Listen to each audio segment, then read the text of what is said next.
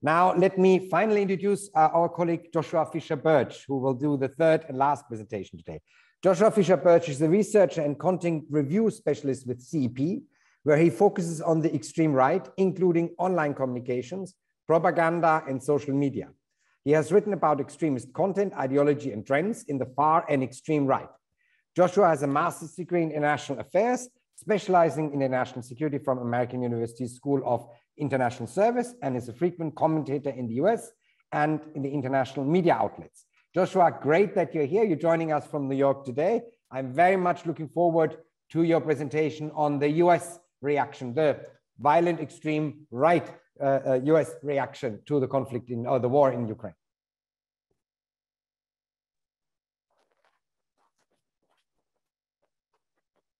Great. Uh, thank you so much, Hans. And uh, thank you so much to my fellow panelists, uh, and Alexander. And uh, thank you very much as well to uh, Darlene, who's doing uh, the tech side for today. so,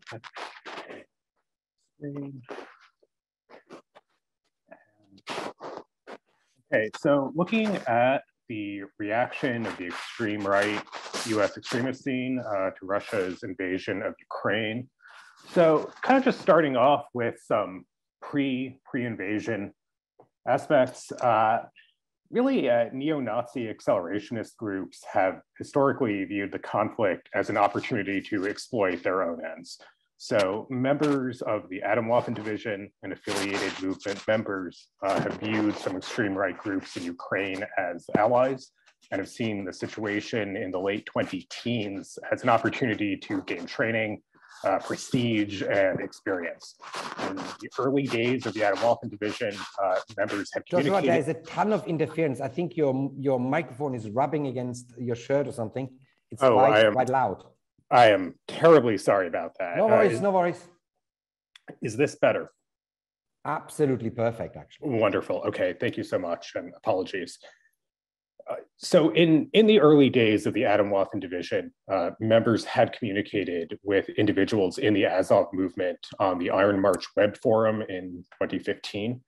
Uh, the American James Mason, a leading ideologue in the American neo-Nazi accelerationist scene, uh, has claimed that members of the Atomwaffen division had previously trained in Ukraine uh, and returned to the US as part of this you know, training prestige experience pipeline.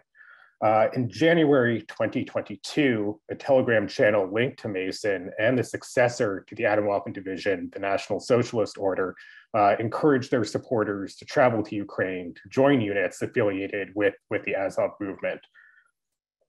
Moving to uh, the base uh, in 2019, uh, the base's founder, Rinaldo Nazzaro, uh, spoke internally about using the conflict in Eastern Ukraine as a training ground for members who would then share that experience and connections made with, with their fellow base members in the US. And a member of the base, Ryan Birchfield, uh, joined the right sector militia in Ukraine, uh, was deported from the country in October 2020, along with an alleged member of the Atomwaffen division. Uh, looking at sort of these non-accelerationist groups as well, uh, the founder of California's Rise Above movement, Robert Rundo, uh, had traveled to Ukraine in 2018 I greatly admired the Azov movement for creating kind of a counterculture that he hoped could be emulated in the United States.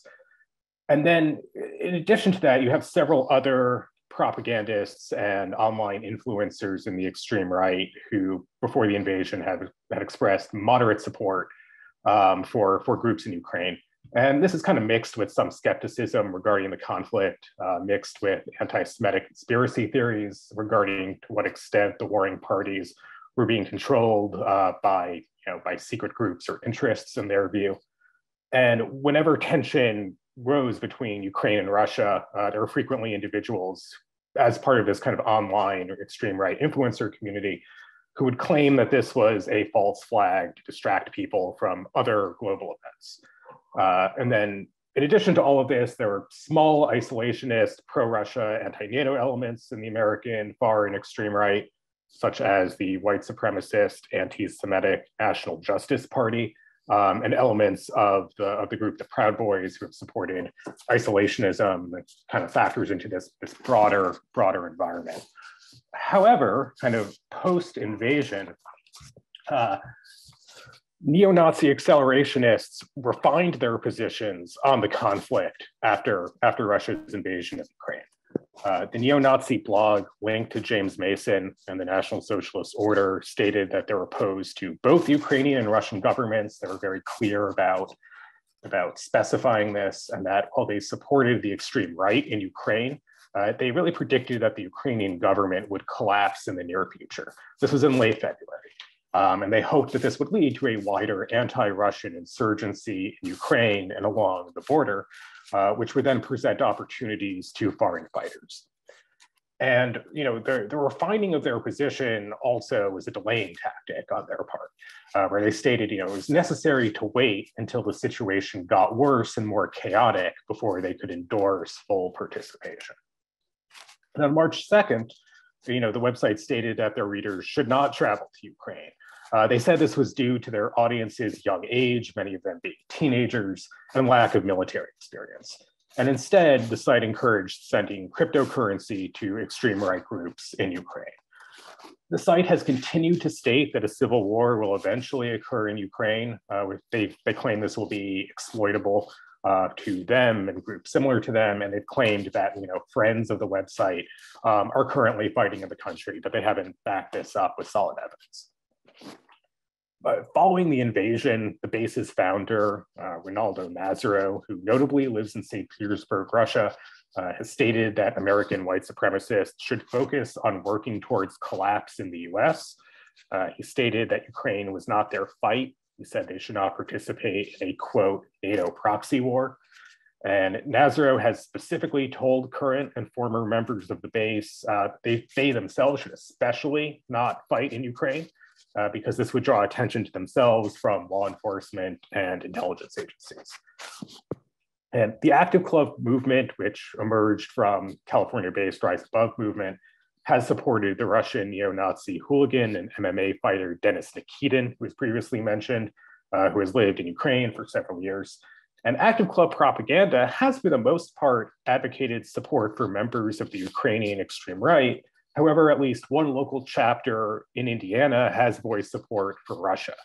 And in late March, the main Active Club blog stated that the group should not be divided and instead they should focus on more local issues in order to preserve movement unity in the United States, and stating that their positions on the war in Ukraine should be personal and should not be public. And then eh, some individual propagandists, notably a New England based neo Nazi streamer who has several thousand Telegram followers, uh, changed their views shortly after the invasion. Uh, so this individual, you know, previously expressed moderate support for Americans to join extreme right combatant groups in Ukraine. Uh, so the polls on, on the right side of, of the slide uh, were posted on this individual's Telegram channel, uh, suggesting that American white supremacists should not get involved in a foreign conflict and should instead work towards destabilizing the US. Uh, you know, additionally, posts blame the US and Jews for Russia's invasion of Ukraine. Many American online propaganda channels that had previously voiced minor support for Ukraine uh, reverted back to the slogan, no more brother wars, in an effort to emphasize support for white people as a whole, rather than one specific side in, in the conflict. And the slogan also suggests that nefarious forces, often portrayed as Jews and anti-Semitic conspiracy theories, are responsible for global conflict. Uh, there's been little change with the pro-Russia element in the United States. Um, notably, several chapters of the Proud Boys used media interest uh, regarding foreign fighters as an opportunity to troll journalists in the US in late February and early, early March. So kind of looking at what, what explains this shift. Uh, in many cases, prior support uh, should be viewed as opportunism and not internationalism. In many cases, pre-invasion ideas of using Ukraine as a training site by American accelerationist groups were really you know, opportunism in order to gain experience and training and not an indication of long-term allegiance to the region when the situation changed and it became significantly more dangerous and more of a commitment, many of these groups changed their minds.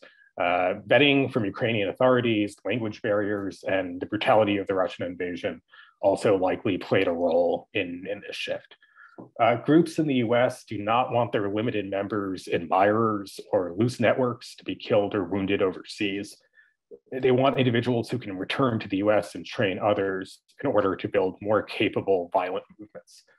And suggesting that individuals instead send cryptocurrency or purchase goods from extreme right Ukrainian brands has kind of been a way for propagandists in the US uh, to encourage a, a, you know, a minor sense of involvement while remaining stateside. Additionally, there's been this need to enforce unity uh, amongst you know, several American extreme right movements. Uh, so some movements, such as active clubs, realized that more of their members either had sympathy for Russia than they had previously thought, or viewed Russia as a counterweight to the United States. So active club affiliated media as well, uh, and some movement chapters have gone have become closer over time to pro-Russian extreme right elements in the U.S., such as the National Justice Party. Uh, this is something that that occurred in specifically in the media space, uh, where these two groups moved a little bit closer together. And continued strong support for Ukraine could imperil the Active Club project as a whole. So, falling back on this No More Brothers War slogan concept, um, stating that unity amongst groups in the United States was paramount, kind of functioned as an off ramp to lower tensions. Additionally, uh, the focus on the US, uh, many propagandist groups and movements in the US have encouraged their followers to focus really on the US domestic situation and have stated that involvement with conflicts overseas just won't improve the situation in the US. Additionally, uh, you have mainstream US support for Ukraine. Uh, so many individuals in the American extreme right scene view themselves as anti-system rebels. And overwhelming US popular support for Ukraine after the invasion makes this image more difficult for them to maintain. And so while there's been support for the Ukrainian people uh, amongst some in the extreme right. Um, others have really derided mainstream American support as either a distraction from domestic issues or a push for war in Europe. And uh, thank you.